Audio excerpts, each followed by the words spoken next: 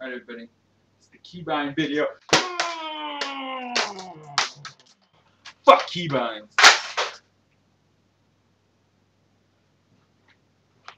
Alright, in all seriousness, let's talk about some keybinds. So, uh, let's talk about the difference between what I use and what traditional keybinds are. So traditional keybinds, I believe, are WASD. Um, this puts your hand really far to the left side of the keyboard. It doesn't give you access to a whole row of keys I believe that you could have access to. And if you're using uh, the numbers 1, 2, 3, 4, 5, for example, uh, using 2 and 3 takes your finger off the W key um, and also like rotates sometimes your fingers up a little bit more than you want uh, to press other buttons. So this is why I don't really like that. Whereas you use ESDF, you get a whole other row of keys to your left side that are really easy to access, like Q, A, Z, really easy to press. Um, and that's really where the ESDF really comes into play. You can still press Alt modifiers, Control modifiers, Shift modifiers. So you have 16 total keys typically with uh, WASD, minus the two I like to discount, 2 and 3. I don't really like them that much. And with ESDF, we have 20. We can kind of discount 3 and 4 uh, to a certain degree. Also, you can always just put keys that you don't really need to move there um, pretty easily, I guess, or other things like when I play WoW or whatever game, for example, uh, I don't really use uh, 1 through 6 often as any important keys. Those are just things I might press like every 10 minutes or something. Nothing really quick and reactionary. Uh, all that relies on QWRT. What's really nice is like your index finger and your ring finger can press these buttons really quickly and you keep your hands really close to your movement buttons, which is very important, uh, I think. So that's why I really like ESDF, is you just get this whole extra row of buttons that are easy to press and fast to press with your uh, ring finger or pinky. You still have access to Shift Control Alt. Uh, not much else to say really. I just think it gives you extra buttons that are really quick and easy to access. Um, now if you use like a Naga mouse or something, uh, you probably stay with WASD because you don't need as many buttons to press. Whereas when I was playing WoW, if I had to use WSAD, oh man, I'd have a lot of trouble with that. Um, whereas ESDF, you just just extra buttons. That's all I really can say about that.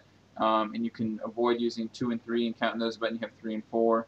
Uh, you have to discount. Um, and I think you should have a mouse pretty much with a few extra buttons. Like I use a G500. Uh, this gives me buttons, three thumb buttons and two like index finger buttons that I use. And then I still have the wheel up and down, uh, which is really good, especially like hunters if you want to have your auto shot or back in the day or steady shot used to have that on that you just wheel up and down all day um, so things like that and you could have it as mouse click um, but I don't really like that at all uh, I hate using the middle mouse button I think it's a little clunky. Maybe that's just me and I'm not used to it and some of you guys really are. But uh, yeah that's pretty much my binds. So here's my Guild Wars 2 binds. Um, pretty uh, easy to understand. Uh, my skills are Q, W, R, T, and A for 1 through 5 and then for all the special class abilities, especially on Elementalist, you have the four. I mean, I guess all classes pretty much have a lot, except for Warrior typically just has the one for their weapon. Uh, shift W, Shift Q, Shift R, Shift T in the same way uh, that is 1, 2, 3, and 4. GHV, really easy to press while in uh, ESDF. And V is your utility skills. B is your elite. Z, quick, easy, pinky. X, uh, rotate my ring finger down for that one typically. Um, C, I bring my index for. That's really easy to press. And then, uh, of course, I have uh, important things like dodge roll and uh, reset pan camera. I think that's really important to have an easy access because I like to pan my camera around and look what's behind me and see if there's following me. I can like world world put on auto run or just hold run forward and look behind, keep casting spells. Really nice. Uh, I learned that mostly from Dark Age of Camelot how important panning was, and so having a a reset camera button and not the like rotate automatically back uh, is very important because I hate the snapback feature that was in uh, World of Warcraft if you didn't use uh, like the free camera look as well. Uh, it just like doesn't give you time to like keep checking things so I really like to have a button I can control for that. And, and then I just uh, bind a few other things to my mouse like dodge roll and then I had a hero panel and inventory. I still like hero panel on my mouse because I like to switch weapons sometimes really quick in between uh, combat uh, phases. It's really good if you're using like Scepter Dagger and you want to switch to staff to get swiftness, switch back to Scepter Dagger, um, things like that. Especially I know with like Kripp on his uh, Ranger, he uses the Warhorn switch real quick, so he has to open up the buttons.